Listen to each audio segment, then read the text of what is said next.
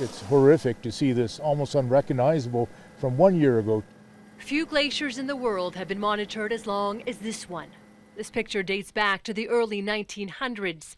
Since then, Peyto Glacier has receded three and a half kilometers. Dr. John Pomeroy first stepped foot on this ice in 2008.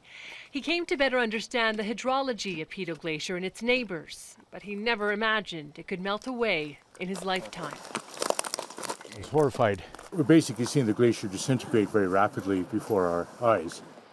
And I think we'll be documenting the end of this glacier uh, over my career now.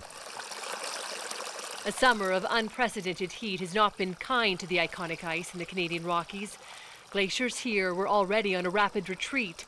This season, the ice melts are the highest ever recorded. The distance between my hand and my foot is the amount of ice melt we've had in just one week. We could lose about seven meters of ice off the glacier this year.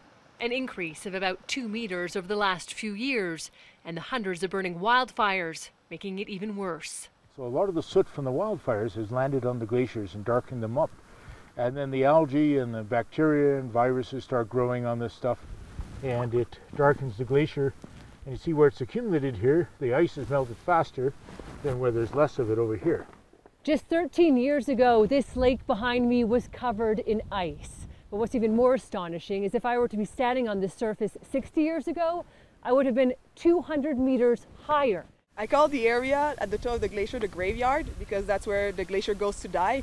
That's really where we see the fastest change, the most change. It's melting really fast, it's changing really fast, um, and it's, it's, it's very depressing. Peyto is part of the headwaters to the North Saskatchewan River, a life source for so many across the prairie provinces. You know, it's not impossible to imagine if we're losing ice at the rate that the Peyto Glacier is losing ice this year, that our rivers would run dry in August or September. And this is like grievously serious for the future of life on the prairies.